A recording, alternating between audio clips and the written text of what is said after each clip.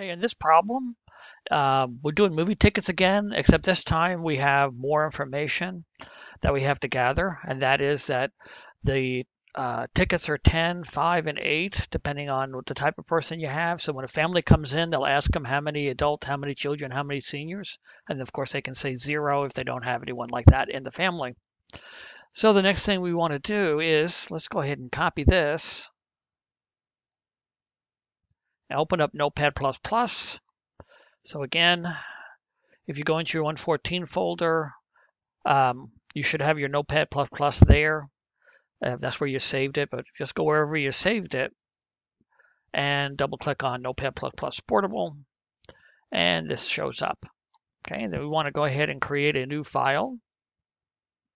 And then I'm going to go ahead and paste in the problem so we don't have to keep going back and forth referring to it. Okay, the next thing we want to do is break this down into the different parts. So it is assumptions. Hello.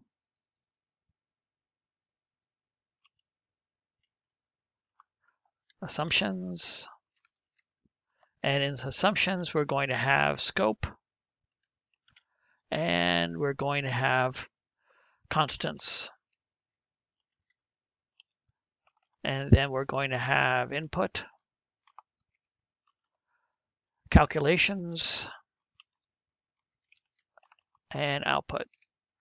Okay, again, we start always with output because they say they want to see a receipt that's showing how much how much they owe. So what I recommend is just copying this bottom part here, paste it into here. So make sure we don't miss anything. So you can see total cost for the family. So that's pretty easy. All right, that's going to be an output. And I'm just going to call that total cost. Good, and that's done. Now something different here, and that is how much they owe for each type of ticket. So there are three types of ticket. So I can't use one place in memory for each for those because there's three different and we can only store one value. So whenever you see each type of something, know that you have to break that down into individual parts. So we want to know um, what is the cost for adult tickets. So adult cost, and again, I'll comma that. Then also we have children, so it'll be child cost, and then for seniors, senior cost. Okay, so there's three different types of tickets. We need three places in memory for that. You can call it whatever you want. You can call it adult dollar or dollar adult or cost adult or whatever. Just you want to make be sure you're consistent and a person can take a look at that and know exactly what's going to be in that place of memory. All right, once we've gotten those down, the next thing we want to do is low-hanging fruit, which is the constants, because they show you right up here what the, the prices are. So we want to put that into our constants area. So for our constants, we have an adult ticket rate, ticket rate, uh, and we have a child ticket rate. If you're consistent, it's very easy to keep things organized.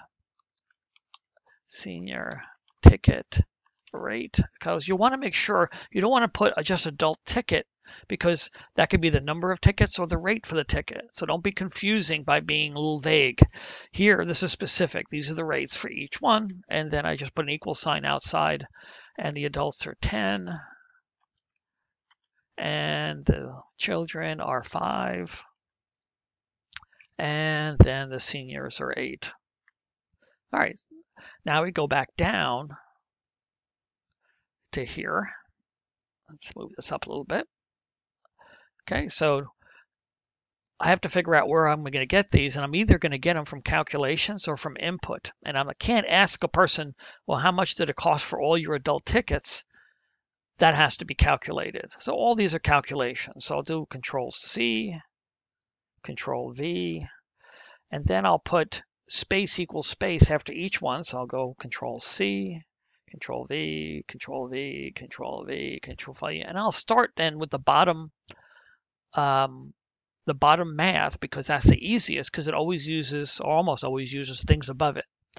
So in order for me to find out the total cost, if I know what the adult cost is and the child cost is and the senior cost is, well, then I just add them together for that. So now I just do that addition.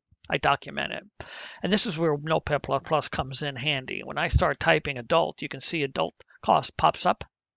So I hit tab, plus uh, child cost plus senior.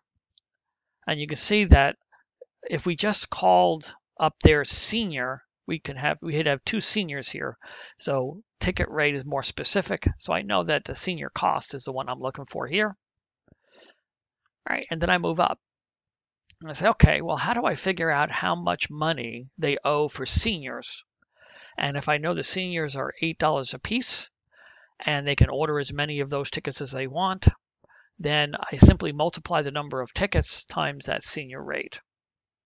All right, so it's going to be senior ticket rate times, and I could say num tickets, but that's too general because we're going to have three different types of tickets that they can order.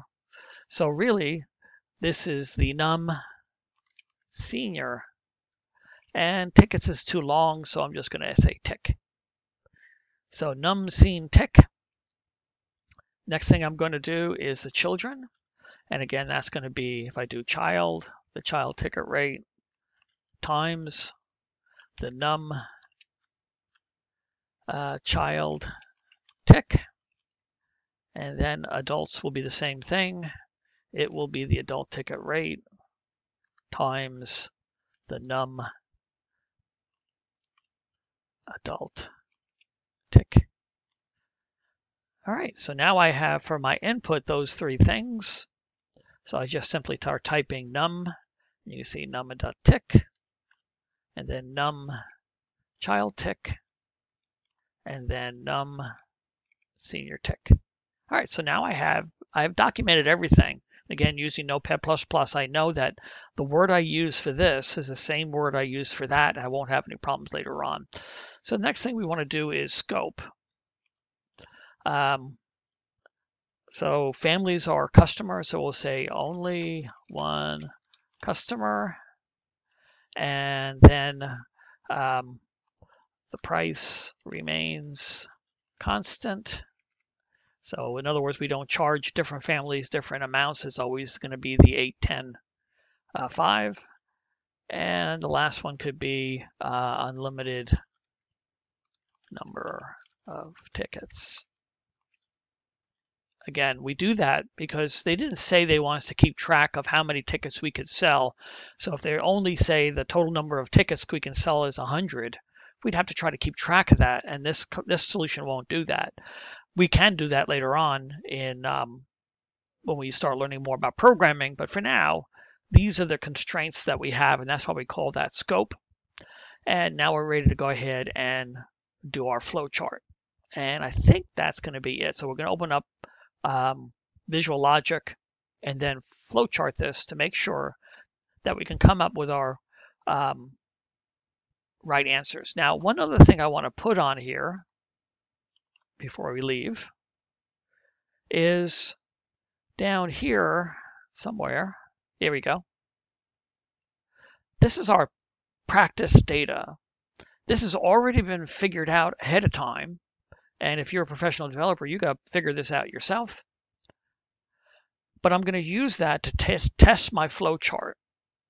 And I just came up with, well, you want to come up with different numbers and then do the math with a calculator and then come up with what the answer is so that when I test my flow chart, if it comes out with a bunch of numbers, if I haven't pre-done it with a calculator, I don't know if these numbers are right. And you want to make sure the numbers are right.